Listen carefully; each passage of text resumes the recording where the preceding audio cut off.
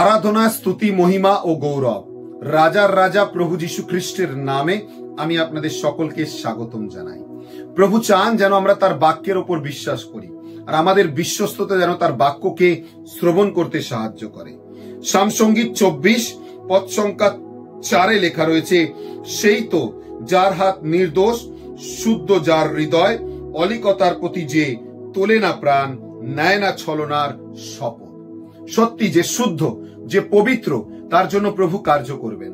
আজ যদি আপনি পবিত্র এবং শুদ্ধ হন, আজ যদি প্রভুর বাক্যকে আপনি বিশ্বাস করেন, আজ যদি প্রভুর বাক্য আপনার জীবনে কার্য করে, তাহলে আপনার জীবনকে প্রভু আশীর্বাদে পরিপূর্ণ করবেন।